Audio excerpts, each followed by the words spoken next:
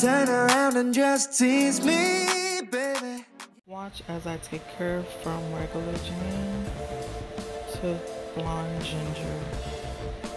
So see, these are the materials that I use to change her hair color. She got tired of her hair being regular brown and she wanted to add a little oomph to it. So she came over and I was like, hey, let's, let's make it happen. So in no way, shape, or form is this a tutorial. It's A tutorial because I'm pretty sure everyone knows how to follow directions on a box. So I just thought I'd share with you guys how, you know, I dyed her hair tonight since she wanted a change. She got tired of her hair being the same color. So this is what we're doing. And so here I'm just doing the sections so that will be easy for me to distribute the dye because as you can see her hair is real thick and there's a lot of it. So parting it makes it so much easier to get to the section and making sure that it's distributed evenly throughout the parts. So that's why I actually went through all that with her hair. But you know it made it, made it easy in the long run so I can't I can't complain too much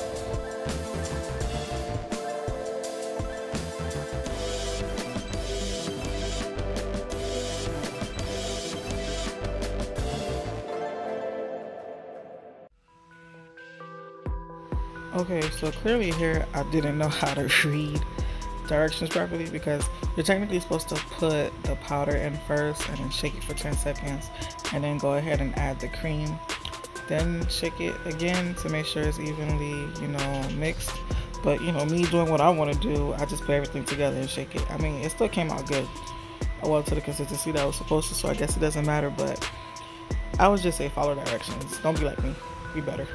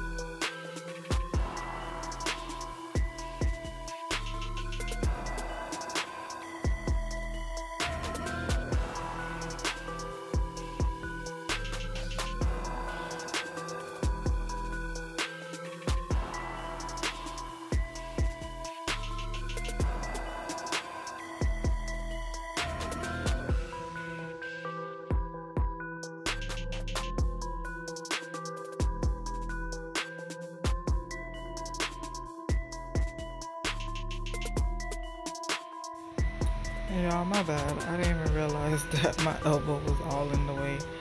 But I promise it moves eventually. Like, I think eventually I realize, like, yo, your elbow's in the way. Check, move your elbow. But, um, yeah, I eventually get out the way.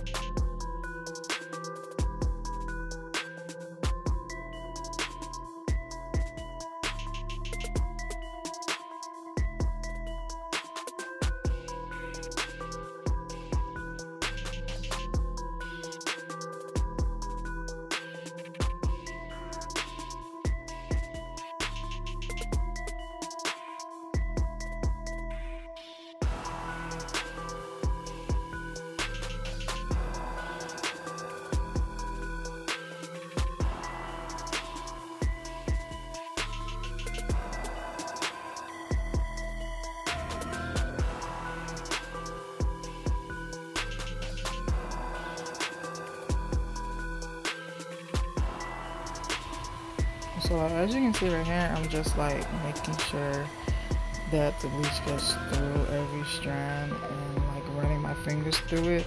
So it doesn't look like it's just one patch of hair being colored but more so like being kind of streaked but not uniform because she said she didn't want it to look uniform. She wanted to look more of like a little natural you know streaks towards the top but not really. So that's why I chose to use my fingers instead of using a comb to do so.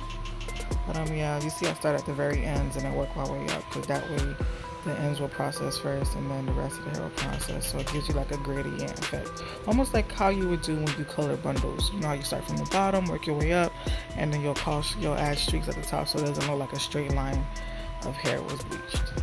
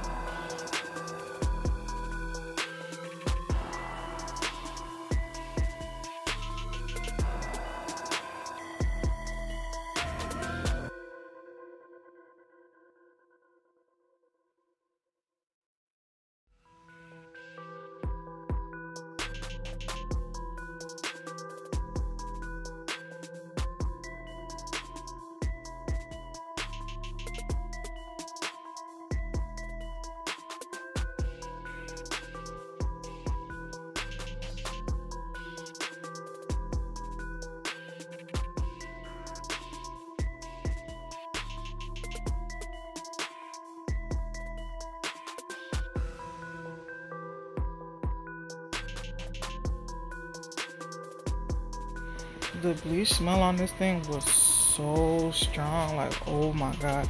Like, I started to feel a little lightheaded. So I wasn't surprised when she covered her nose. I was really wishing at the moment that I had a mask. It was so strong. So whenever y'all do bleach your hair or bleach hair or whatever, make sure you're in a very ventilated area. Like, luckily for me, I was like right under the AC. Not that one that you see, but it's another one like higher up. I was right under that, so it was like blowing it out of my face because that smell was so, so, so, so strong. Like it was ridiculous. I didn't know what was in there for it to be that strong. It's supposed to be like ammonia free or whatever the case, but clearly it can't be.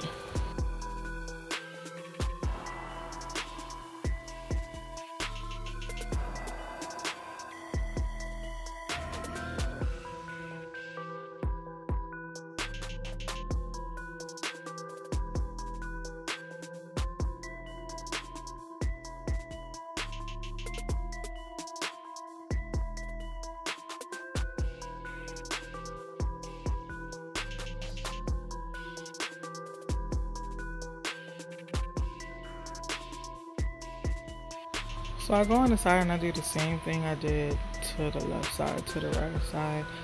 Running my fingers through, making sure that it's distributed well. And you know, just making sure I get all the strands, all the ends, like working my way through. Because you know, with natural hair, you gotta make sure you get through the first layer, the second layer, to the third layer. If not, the hair will be colored on the top and in the middle and then the bottom will be like whatever color it was originally. So you really got to work your way through the layers through the thickness through the hair to make sure everything is coated and saturated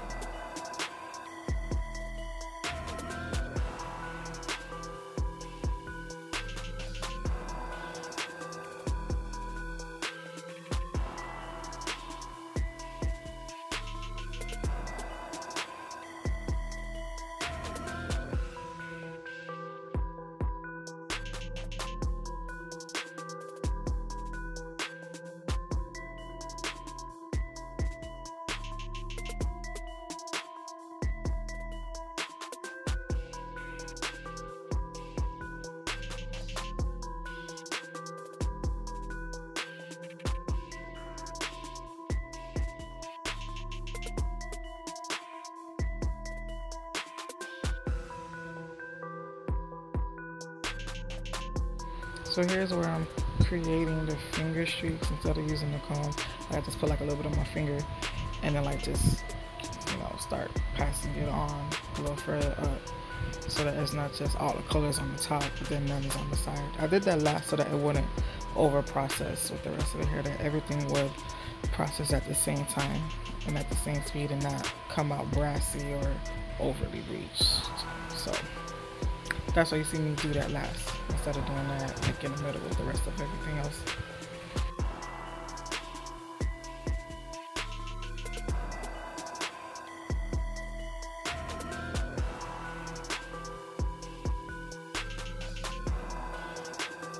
So by this time, I done got all the parts of the hair that's gonna be colored covered. And I think it had been about maybe 10 minutes and the hair was changing color slightly. So it was like a real brown color, like close to like a number two. Or is that a four? Either between two and four. It was like at that color, but even though I seen the change, like she wanted it like bright, bright, like she wanted that ginger blonde color. So I was like, all right, so that means we have to sit for a good 30 to 45 minutes because with natural hair, it takes a little longer to process compared to if her hair was um permed or straight or what's the word um relaxed.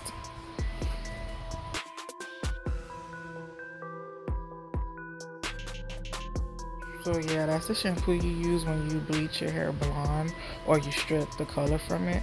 That's the way to keep it from um, being brassy and getting a little weird like copperish color that's not like cute. It's like more of an orange, uh, like an orange brassy color. So that, that shampoo really helps to take the brassiness out of the blondes. But yeah, so far that's what her hair looked like after 30 minutes. Well, like 35 minutes or whatever. So now we're just gonna rinse out all the bleach, wash it, condition it, and then style it.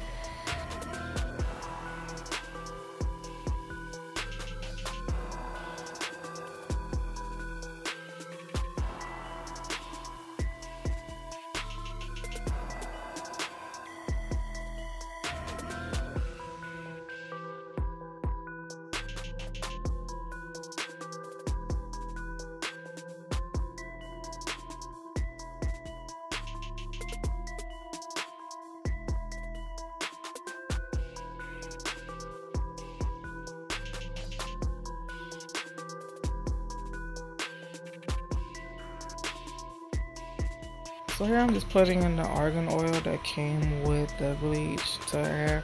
Usually I'll put like my own little concoction, but I hadn't made it yet, so I didn't have none. I had to use the oil that came with the bleach, just argan oil. So um, I put it in while her hair was wet. That way it'll lock in the moisture um, that's already in her hair so that her hair won't be dry. So now I'm just gonna comb it out, detangle it, and then twist it up um, for her so that she could either wear it out tomorrow once it's fully dried as a twist out or whatever she chooses to do with it. You know, we kept it real simple. We didn't want to do nothing over dramatic because technically, you know, her hair is technically still wet. And most people that's natural, they don't blow dry their hair, they just let it dry naturally. so that's what we're doing, just twists. And this is the end result with the color and with her twists. Um, she was in love, she loved it. I was happy that she was happy. So, you know, no complaints on either end. Thanks for watching the video. Like, comment, and subscribe. Hit that notification bell so that you know when I post again. If you have any ideas that you guys would love to see, go ahead and write them in the comments and I'll pick from there and do the next video. Bye, guys.